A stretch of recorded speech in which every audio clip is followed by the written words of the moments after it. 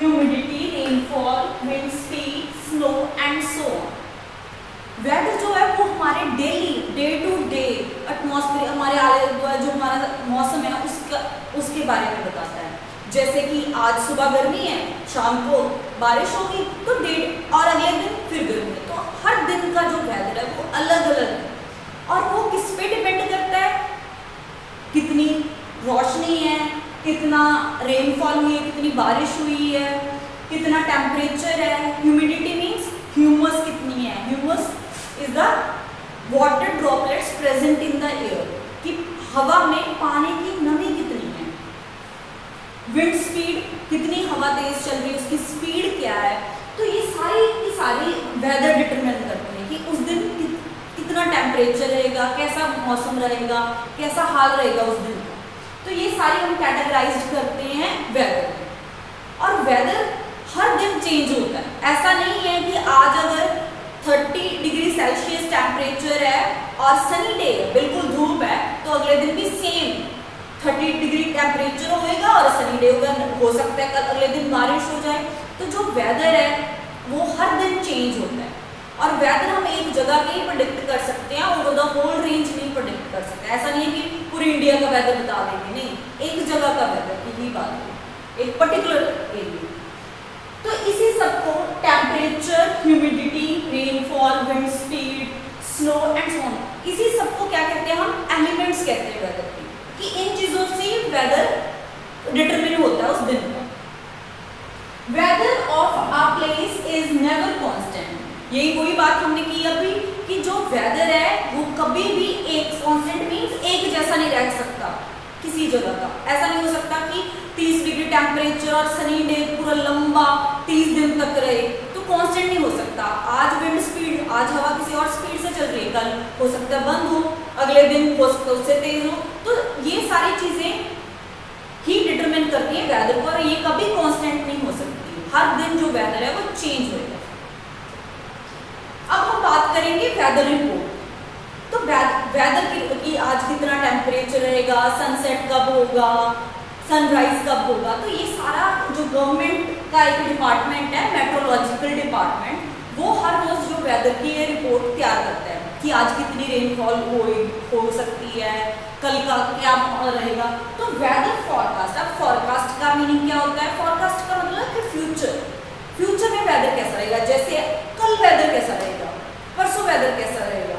तो वो forecast means future की प्रोडिक्शन की जाती है कि कल रेनफॉल हो सकती है पॉसिबिलिटी है रेनफॉल की, कोई तूफ़ान आ सकता है तो ये सारा प्रोडिक्ट किया जाता है बाय मैट्रिक मेट्रोलॉजिकल डिपार्टमेंट और हर दिन आपने कभी भी न्यूज़पेपर आप जब भी पढ़ोगे तो आपको पता चलेगा कि जो maximum and minimum temperature of the of a day है, वो भी वेदर रिपोर्ट में निकाला जाता है कि दिन में मैक्सिमम टेम्परेचर कितना रहा और पूरे दिन में सबसे लोएस्ट सबसे कम तापमान कब रहा।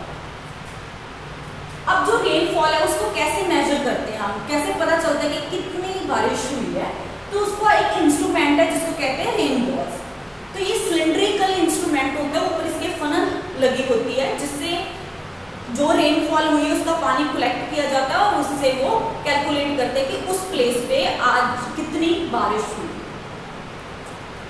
अब हम बात करेंगे कि कैसे हमें पता चलता है कि जैसे सात दिनों का हमने लिया है वेदर रिपोर्ट कि टेम्परेचर मिनिमम और मैक्सिमम अगर निकालना हो कि किस दिन जो टेम्परेचर है वो ज़्यादा रहा, किस दिन कम रहा और कैसे कैसे बदलाव हुए हर रोज? तो हमने थर्ड ऑफ़ अगस्त से लेके नाइन ऑफ़ अगस्त तक की एक टेम्परेचर रिपोर्ट बनाई है।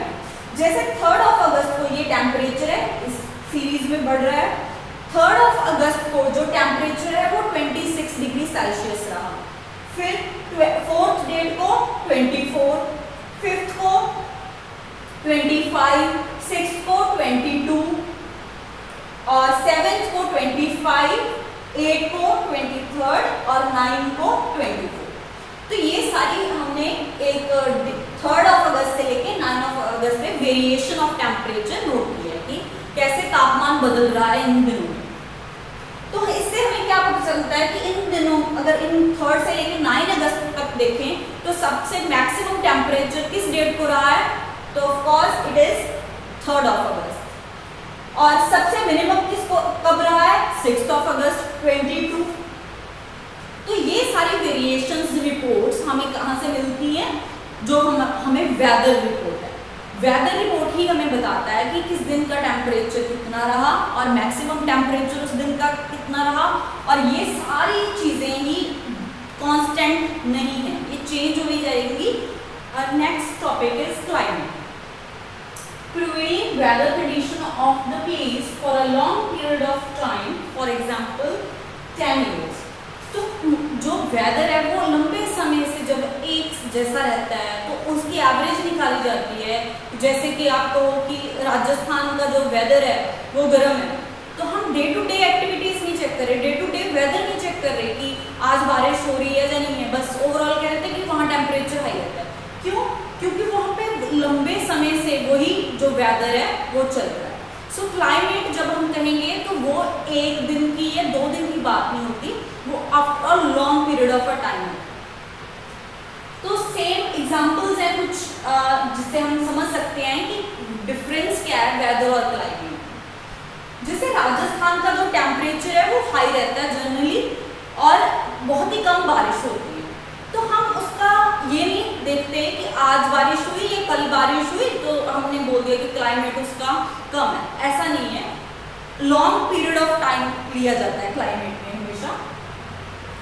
तो एज हॉट एंड ड्राई तो राजस्थान का जो क्लाइमेट है वो हॉट एंड ड्राई ना कि weather hot and dry weather day to day check किया जाता है, लेकिन जो क्लाइमेट है वो लॉन्ग पीरियड ऑफ़ टाइम उस जगह का वेदर को एनालिसिस किया जाता है और फिर उसका बताया जाता है। जैसे कि राजस्थान का हाई है और वहाँ पे जो बारिश कम होती है तो हमने कह दिया कि हॉट एंड ड्राई क्योंकि बारिश कम होती है। तो क्लाइमेट उसका हॉट एंड ड्राई अब वैसे ही एग्ज़ाम्पल लेंगे तो नॉर्थ ईस्ट में ज़्यादातर समा जो बारिश रहती है रेनफॉल ज़्यादा रहती है तो उसका क्लाइमेट कौन सा है? Wet climate receive rain for major part of the year climate of north is wet तो इसमें एग्जाम्पल्स हमारी आसाम आ जाते हैं, उस नॉर्थ ईस्ट पार्ट उसके बाद क्लाइमेट एंड अडेप्टेशन अब जैसे जैसे उस जगह का क्लाइमेट रहेगा तो वहाँ पे अडेप्टेशन जो एनिमल्स हैं, उनको भी वैसे ही करनी पड़ेंगी।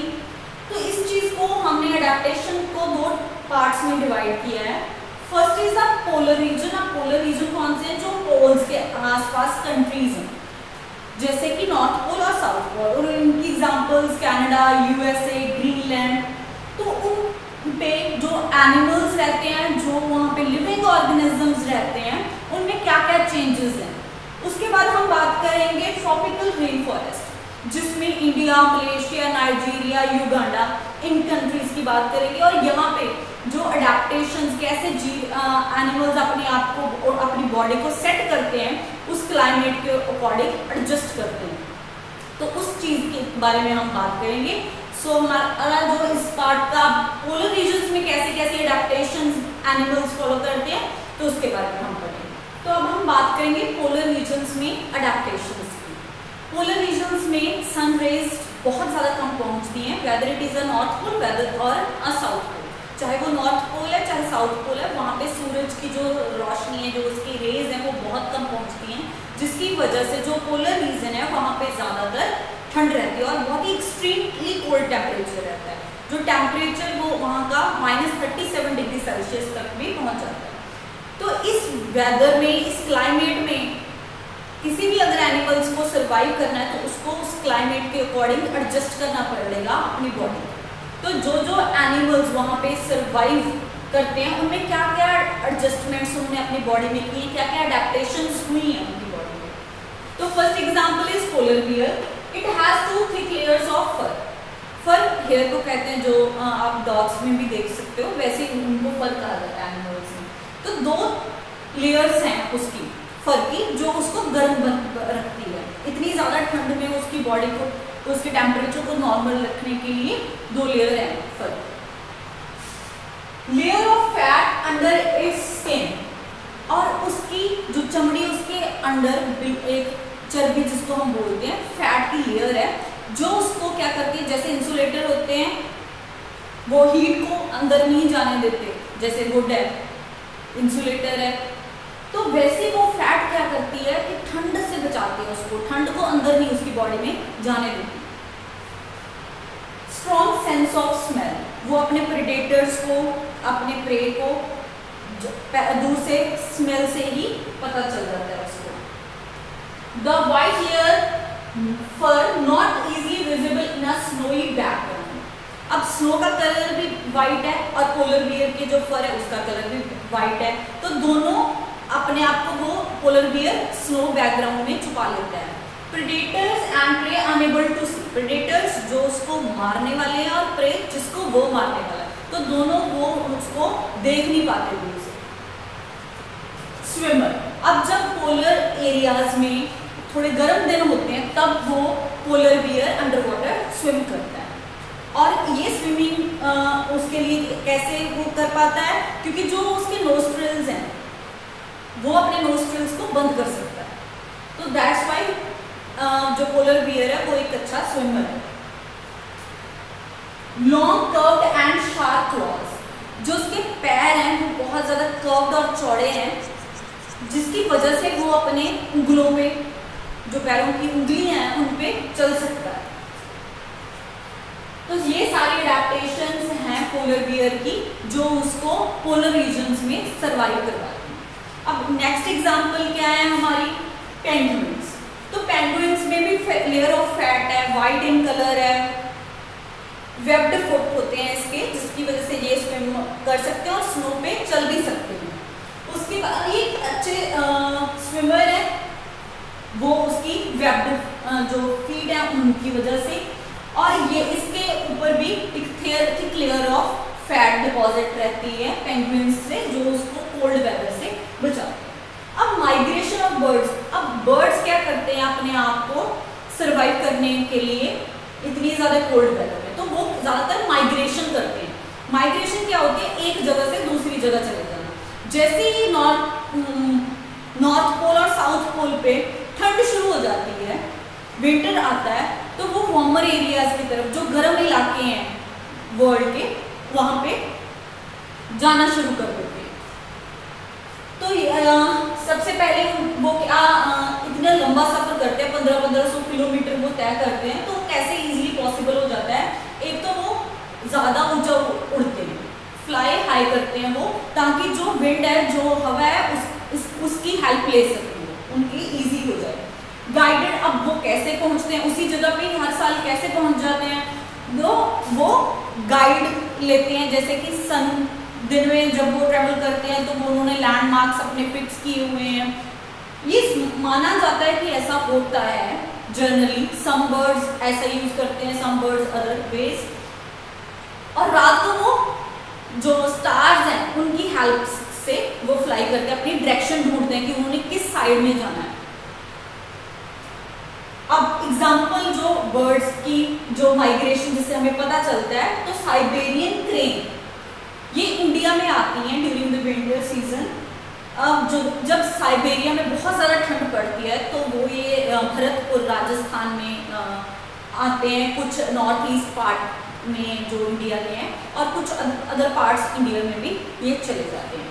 तो ये सारे इस, इन सबसे ये पता चलता है कि जो बर्ड्स हैं वो जब ठंड पड़ती है तो वो वार्मर एरियाज़ की तरफ़ आते हैं और वापस जब वहाँ पे विंटर सीज़न खत्म होने वाला है तो वो वापस अपना माइग्रेशन करके उसी जगह पे पहुँच जाते हैं।